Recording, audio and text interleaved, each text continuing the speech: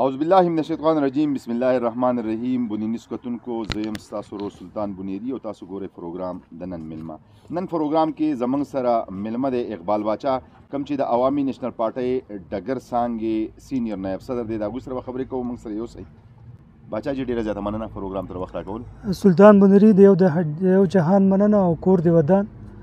او د بنیر نیوز چې څومره هم کتونکي دي اورېدونکي دي ټول د دعاګانې او سلامونه او نیکې هیلې پاچا جي دا راته ووایي چې را په ملک کې سیاسي فضا چې دا هغه دوباره الیکشن طرف ته روغه ده په بنیر کې څه صورتحال دی سلطان بای څنګه چې تاسو ته پته ده چې عوامي نیشنل پارټۍ دا ډیر ښه قدم اوچت کړو چې د ټول نه مخکې د الیکشن نه مخکې کاندیدیت اناونس کړو د بونیر په خاوره باندې نو بیا دا زمونږ د بونیر چې کوم کاندیدیت دی د هغو لپاره د فخر او د ویاړ خبره په دې چې ټیم سره کافي په دې کې بیا دې ځان له خپلې خلې ځلې خپلې منډې تړلې وښلی شي بیا زمونږ د پی کې ټونټي یا ټونټي تري چې کومه ایریا ده په هغې کې زمونږ افسر خان کاندیدیت دی د عوامي نیشنل پارټۍ او په تا د تحصیل ګاګره باندې بیا قیصر ولی خان دی او د خدو خېلو نه سردار حسین بابک صاحب دی تر ته وایي چې را د کاندیدټو مخکې نه اناونسینګ کول چې دي دا په پارټي ته څه پیدا ورکړي په دې کې سلطان بای خبره داسې ده چې په دې کې به هغو ته بالفرض که عموما به عوامي نیشنل پارټۍ داسې کولو چې الیکشن ته به جنرال الیکشن ته به میاشت پاتې شوه یا به یو نیمه پاتې شوه هغو بیا د کاندیدیټو اعلان کاوه نو هغه ټایم بیا ډېر زیات مختصري لږ ټایم په دې کې بیا خلک نه خپل خپل علاقه یا خپل ولس او د بیا کور یا کوم ایریا باندې چې هغه الیکشن لړاوي هغه بیا کور کولای نشي بیا بدقسمتي خو زمونږ بیا دا چې دلته کې دا خو د غرونو علاقه ده په دې کې ډېر خلک بار په دې غرونو کې پاتې کیږي نو زم چې او پیرا سړی لم ته خيږي یا د چړ جبې ته خيږي او بیا را کوزیږي نو روغ ورسو پایې کې تیر شي نو په کار د چړومبه الاونس وشي چې هر سړی خپل منډه تړله او خپل جدوجهد په ښه طریقه باندې وکړي باچا دا راته وایي چې کله موږ د دغه اناونس خبره کوو نو تاسو د مخکې جماعت اسلامي خپل کاندیدټ اناونس کړی دی او په هغه کې د ان ای کاندیدټ هم هغه اناونس کړی دی عوامي نېشنل پارټۍ ولې نه دی اناونس کړی څه وجه کېدای شي په پارټۍ کې ګروپ بندي ده دوه دړي دي کنه هغه دا فیصله نشي کوي چې یاره یا رؤوف خان ته یا استقبال خان ته ټیکټ ورکړي نه داسې خو په عوامي نېشنل پارټۍ کې څومره الحمدلله ګروپ بندي هم نشته عوامي نېشنل پارټۍ خاص کر د بونیر په په باره باندې خبره وکم نو بونیر کې الحمدلله عوامي نېشنل پارټي په یو پیج ده په یو لاین باندې ده نو ان شاء الله د پی کې ان 18 د چې کوم د زموږ د قومي اسمبلۍ غړی دی هغه به یا زموږ روپ اجي سي بي یا به استقبال هاني دا خو به د پارټۍ مشران فیصله کوي کو چاله هم ټیکټ ورکو د چا هم لاټین نشانو موږ به د لاټین سره ولاړو اسی تاسو خو نه چې را پی ډی ایم سره تاسو الاینس کیږي او په بونیر کې سه اتحاد راغي او کفرس کې اتحاد روغ شي نو په پی ډی ایم کې خو ډېرې پارټۍ دي نو بونیر کې به دغه اتحاد کامیاب وي که نه اتحادونه کو د بونیر په خاوره یا د بونیر په سیمه باندې کیږي نو بیا دا د بونیر چې کوم زموږ مشران دي دی نشي کولی دا به د صوبې نه کیږي د باچا خان مرکز نه به کیږي کیدی شي چې وشي کیدی شي چې ونه شي هنه منغا زمون کاندیدټ چې بیا دی هغه دې خبرې ته تیار نه دي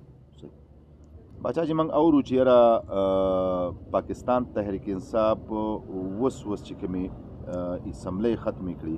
د هغوی دا دعوه ده چې موږ به ډېر زر الیکشن ته راشو او په دغه الیکشن کې موږ دو تهایي اکثریت حاصلو څه وایې چې عوامي نېشنل پارټي او په بونیر کې د هغوی مقابله وکړي چې هغه چې کومه دعوه کوي یاره زوم چې پی ټی آی چې څومره نقصان ورکو بیا زمونږ صوبې له او خصوصا پښتنو له پښتانه ډیر وسپول بیا زمونږ د صوبې بیهي پنچر کړ تاسو په خپل باندې خې ایکسپیرینس خه تجربه لرئ چې زمونږ د صوبې څه حال دی بیا په دې صوبې کې چې د کم خلک د کم مخلوق پاتې کیږي د پښتنو ته دې څه حال دی لکه 991 ارب روپۍ زمونږ صوبه قرضدارې ده دی بیا د پی ټی آی د مشرانو د خلونو مې دا خبرې اورېدلې دي چې زمونږ 1200 ارب روپۍ مرکز قرضدار دی رفاق زمونږ قرضدار دی خو لکه مونږ له هغه 1200 ارب روپۍ نه راکې چې په مرکز کې ستا حکومت او عمران خان حکومت او په صوبه کې ستا حکومت او په کار دی ته عمران خان ته خدا ویلې چې سر د خدای د پاره زموږ دا صوبه چې ده دا غریبه ده عاجزه ده زموږ دا باره سوه ارب روپۍ موږ له راکړئ چې موږ پرې د خپله صوبه راوچته کړو او دا پښتانه پرې راوچت کړو نو دا بدقسمتي زموږ د پښتنو دا وه چې هغه دا خبره مې عمران خان ته نه ده کړې چې به یې زموږ د پیسې یا زموږ دا حق چې دی دا دې موږ ته میلاو شي دی به ځان له تلو او قرض قرضونه به کول یو به دې ته بل به دې ته قرضونه به کول کول کول کول کرپشن زمون په خاور باندې بیا زمون په پښتونخوا کې به زه ته وایم چې 99% کرپشن وشو دین نو سو وکان مې ارب روپې صوبه قرضدار کړه خو دې ستان مې ارب روپې په صوبه کې لګولې نه دي په کار د چې لکه تاسو د تبدیلې د پر راوتی وای کو زه بیا د بونیر د خاورې خبر وکم زما تعلق د بونیر سره دی زمونږ وزیر اعلی خیبر پښتونخوا دو پیری بونیر ته راغی او د بونیر د خاورې نه زمونږ د بونیر شملور پښتانه خو هغه د هان ګون سره دي خو د پخ د دې بونیر دي د دې خاورې بچي دي د بونیر د خاورې نه ټارګټ کړو هغه ته کنزل وکړو هغه ته سپکې خبرې وکړي دا په دې میډیا باندې پراته دي او دا غي کنزل سره دا غي سپکاوي سره زمونږ د پښتونخوا وزیراله دا اعلانات هم وکړو چې زه به تاسو له د کړاکل ټنل جوړوم د ټنل سره به تاسو له زه سوي ګیس راورم د سوي ګیس سره به یا میډیکل یا نرسنګ کالج د بنیر ځوانانو ته او مشرانو ته ورکوم دا ټول پروپاګاندا وي ټول دروغ خو خپه صرف په دې باندې شوم ډیر زیات د خپل وزیر اعلی نه چې د بونیر په خاور باندې د بونیر مشران سپکړو د بونیر مشرانو ته سپکې خبرې وکړي نو خپه په دې خبره ډیر زیات یم بچا دا راته وایي چې تاسو کله د صوبې خبره کوي چې د وفاق نه وی پیسې نه دی غوښتلې نو وفاق په خپل د آی ایم ایف قرضدار دی چې کم کور د بار قرضداري نو هغه په کور کې کشر لسه پیسې آی ایم ایف سره چې عمران خان کومې معاهده کړې وي دا خو سره عمران خان کړې وي عمران خان چې کومې معاهده د آی ایم ایف سره کړې وي هغه بیا عمران خان قوم ته شایع نه کړي چې ما دا سره کړی دي ما سره دا وکړو ما سره دا وکړو زه تاسو ته دا ګارانټي در کوم په دې خو تاسو د میډیا په وساتت چې د آی ان اف سره عمران خان دا معاهدوم کړی و چې په سوات او په بنیر په ملکن ډیویژن کې به بیا حالات خرابو خو زه د خپل خاورې او د سوات پښتانه بیا د بونیر پښتانه اپریشیټ کوم په دې باندې چې هغه ډېر غټ پاسون وکړو ډېر خلې زری وکړي چې بای موږ نور جنگ نه غواړو موږ امن غواړو اخر ګناه زما څه ده چې تاسو موږ جنگ طرف ته بوزئ اوس کو زما زه د بونیر سړی ما زه د مردان د سړی سره جنگ کوم او زه دا جنگ راوالم په سوات کې کوم نو دا سواتیان به ما ته وینا چې ته خو د بونیر او د مردان دی نو دا جنگ یا په بونیر کې وکړي یا په سواد کې وکړي تاسو سواد په مردان کې وکړي یا په بونیر کې وکړي سواد ته ولې راوړي دا زمونږ جنگ نه دی او په مونږ پسې راوړي مونږ ته دا ستاسو دی دا د بونیر جنگ دی دا د سواد جنگ دی بدقسمتي زمونږ د پښتنو په دې ده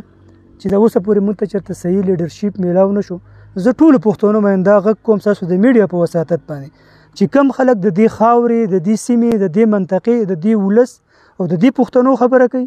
په کار ده چې بیا موږ د هغوی ډله کې ودورې خندا کوي او خپل ټیم پاسې پسې کوي نو په کار ده چې موږ د هغې خلکو نه ډډه وکړو باچا جی تاسو په خپل خبرو کې چې د هغوی په ناقص پالیسو باندې چرته دغه وکړم او زه تاسو ته لیکوټ یاد دهانی کوم او د یو سوال سره دویم سوال دا تړم چې تاسو یې را په صوبه کې سره نه کړی هغه صحت کارت یو ډیر غټ پروجیکټ غي کړی دی اوس ټوله صوبه کې هر یو سړي ته په جب کې د هغوی د شناختی کارت په صورت کې لس لک روپۍ ایښي دي د هغې سره هغوی نور هم داسې مسافرخانې رخ کړي دي تعلیم په پالیسۍ باندې هغوی ډېر ښه کارونه کړي دي څه وایي چېرې دا د هغوی کارنامه نه ده خو د هغې سره تړلی سوال دا کوم چېرې تاسو کله د حالاتو خرابولو خبره کوئ داسې او داسې الزام تاسو ولګو چېرې عمران خان د طالبانو یو مشر په حیثیت باندې تاسو ته ښکاري بالکل په دې کې خو شک نشته د ټولو دنیا خبر ده چې د آی ان اف سره کوي معاهده کړي بالکل پکې یو دا موجوده و خو بدقسمتي زمونږ د پاکستان بیا زمونږ د پښتنو په دی و چې د چې کوي معاهده کړي د بیا قوم تشایع نه کړي چې ما سره دا کړي دا کړي دا کړي دا کړي دا پاکستان خو الډي کمزورې وو د کې شک نشته خو دومره کمزورې هم نه لکه د دنه مخکې د نواز شریف حکومت د نواز شریف په حکومت کې دا ظلم او دا بربریت او دا مهنګایي نه وه راشه زما د خاورې د بنیر زما خوږې خوږې او خواږه خواږه خویندرونه سوالونه کوي زما په دې جوړ په دې بازار کې لګیا دي زما تور سری ګرځي سوال کوي ما په خپل ژوندۍ کې چې د تور سری بیا د پښتنو تور سری په سوال نه ولیدلی دا ټول کریډټ پی ټی آی ته ځي دا ټول کریډټ عمران خان ته ځي تاسو چې کومه بل خبره وکړه چې صحت کارت په باره کې نو صحت کارت خو ډیر ښه کارو په دې کې زه ورچ یو کار صحیح هغه به مونږ وایو قوم ته چې دا ډیر ښه کار ده کړی خو په صحت کارت کې زه نو سوي کان مې عرب روپې قرضدار شوم راشه دي سور کرپشن وکړي راشه په سواد کې وګوره راشه زما بونیر وګوره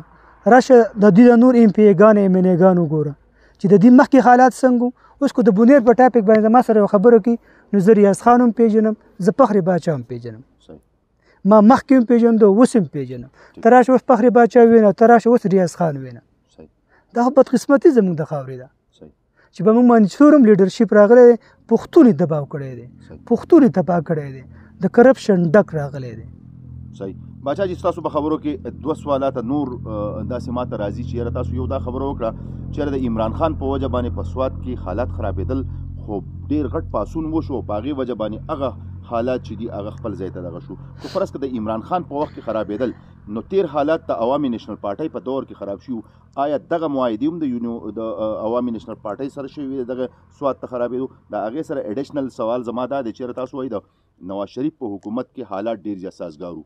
نو د هغې نه وروسته اوس د شهباز شریف حکومت دی حالات خو هغه شان سازګار نه شو څه وجه کېدای شي زمونږ په دور حکومت کې چې کوم حالات خراب شي سو کم حالات 2009 په 2010 کې یا په 2008 کې ټول خلک دا کارنې بوټي به گواه دي اوس چې کم د دې په دې د دې په دې دورې حکومت کې چې کم حالات خراب شو کم ټارګټ کلین وشو کم خلک اغوا شو او کم پولیس ته نشانه شو د پی ټی آی د ایم پی ای یا د پی ټی آی د ایم ان ان یا د پی ټی آی د صدر نه تا دا اوریدلی دي چې دا ظلم وشو دا بربریت وشو دا زما په خاورې پورې زما په پښتنو پورې خندا ده د زر کاله کې به اتناوري زما په زما په وخت کې مونږ خو دین انکار نکو چې زما په وخت کې حالات خراب نو خو زه ګوره پټ شوی نه یم ما په جار ما په ډار مقابله کړې ده ما د هر جنازې نه شپېته مړي اوچت کړي دي ما بشیر بلا ور بایللی دی ما هارون بلا ور بایلو ما احمد زیب بایلو ما ډاکټر شمشیر علي بایلو خو په شا شوي نه یو موږ د دې خاورې جنگ دی د دې سیمې جنگ دی د دې منطقې جنگ دی او موږ پکې بیا الحمدلله دا زمونږ خاوره د موږ کرایدار نه یو او دا خو کرایدارو راغلی وخت شپې ورځې تېرې کړې لاړو نو زما مطلب د خبرې دا دی چې عوامي نېشنل پارټي په جار باندې د پښتون قوم د ولس د پښتون قوم د یووالي د پښتون قوم د ترقۍ د پښتون قوم د خوشحالۍ خبره کوي او په جاري کوي نو دا زمونږ د پاره بیا زمونږ د لیډرشپ د پاره بیا د پهره د ویاړ خبره ده زه په هر کوم په عوامي نېشنل پارټي باندې چې هغه د پښتون د وسایلو خبره کوي هغه چې پښتون له قلم ورکړي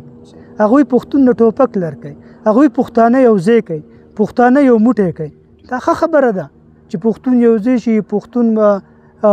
یو لاش شي یو موټی شي یو وجود شي د سره مینه محبت سیوا کیږي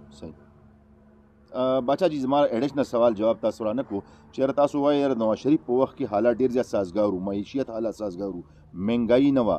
وس هم په وفاق کې د مسلم لیگ او د پی ډی ایم کولیشن ګورنمنت دی او په وزیر اعظم په کرسۍ باندې نواز شریف رور شهباز شریف ناست د نواز شریف او د شهباز شریف دی حکومت ته بده کې شک نشته خو بدقسمتي هو ماته ته دا وی چې